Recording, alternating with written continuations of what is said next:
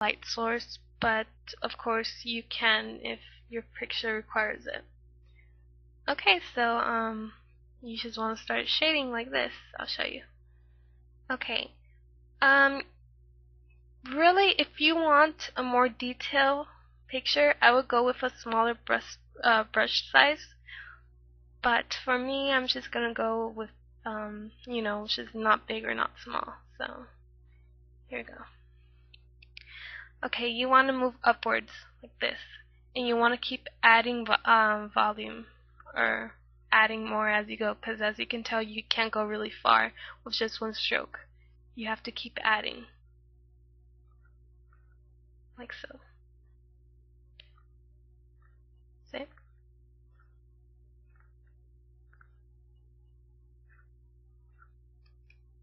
And you, you can also alternate sizes, you know, you don't have to stay with one side. It's really up to you. But since this isn't going to be a very detailed picture, I'm just going with this.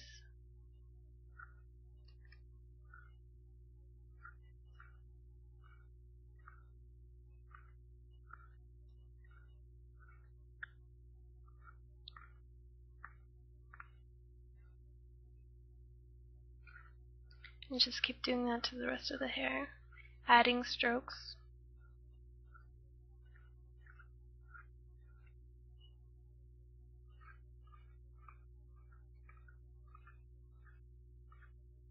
I always like to keep my strokes my strokes close to the lines.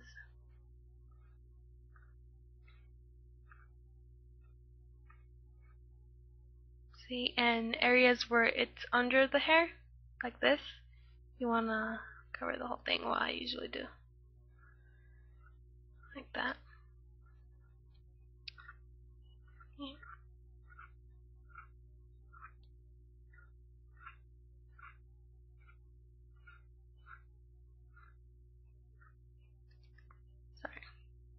Also, if you don't know the keyboard shortcut, to undo something, you um you you hit uh, Control Alt and Z. Okay. Right here I'm going to change the brush size to a little bit smaller to add those. See? It's really nice if you add um, alternating strokes because, or various different strokes because it adds a nicer touch. Also, if you have, um, I believe it is CS2 or CS and higher, you can change the the softness and hardness of the brush.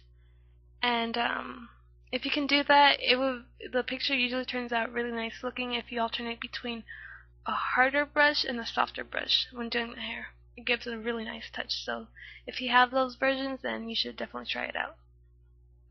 See what works best for you.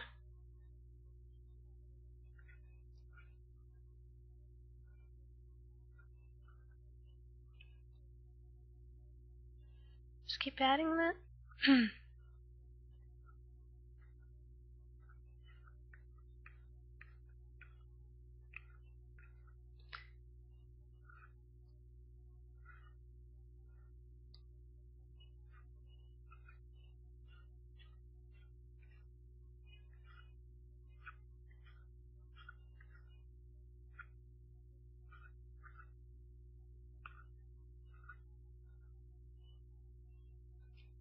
Also, another thing that I've noticed that gives a really nice effect is if instead of just going from down and up and keep doing that with the rest of the hair, what you can do is you can um, start like at the middle of the hairpiece and then um, add strokes up like this. I don't know how to explain it, but you can add strokes from this side and then add strokes on the bottom.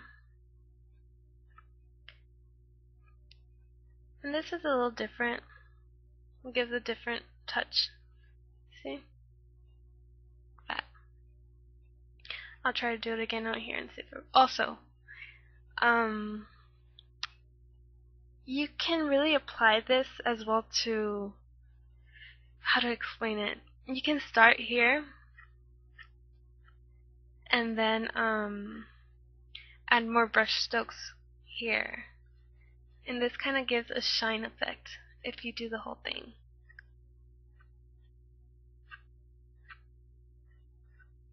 Kind of like that.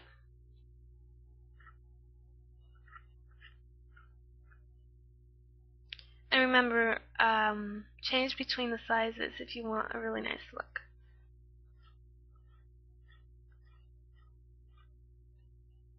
Okay, like that.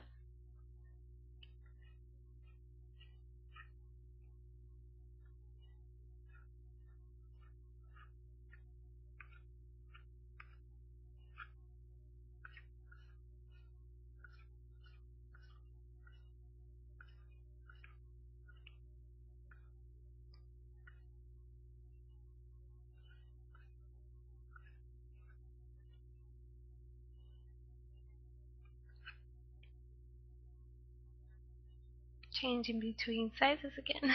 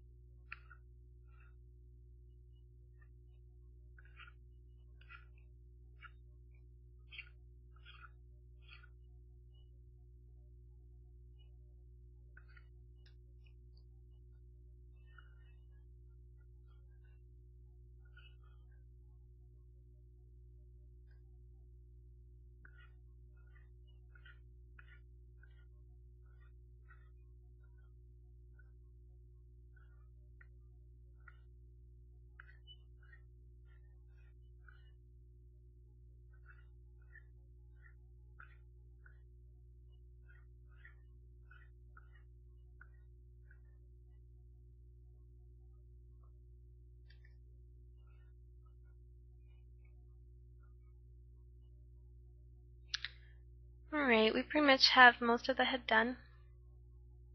I mean, well, right here in the spot, we'll do it quickly. Just a little something. Okay, now that we have most of the head done, what you want to do is either you can leave it like this, or you can add even more detail. And what you do, oh, sorry, my foot is cramped. I'm not cramped, but asleep. Um, what you want to do is you want to choose a darker color. Like I said, I generally go with very dark, so I'll leave this. And you want to get a smaller brush size. Sorry. Okay. Like this, probably. Not too tiny, but pretty small and you want to add around the lines like this and down towards. You want to start in, in the middle or I'm sorry what did I hit? Okay. Like that. It's hard to explain but you, you probably get the idea you know, you don't want to add it everywhere, but just in places, in random spots. Well, not in random spots, but you know, not everywhere.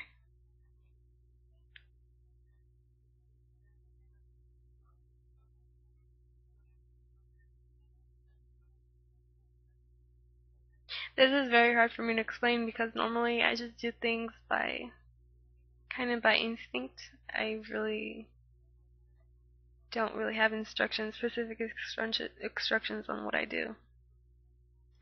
Ah, computer is acting up again. It's freezing my my tablet. Let me redo that. Okay.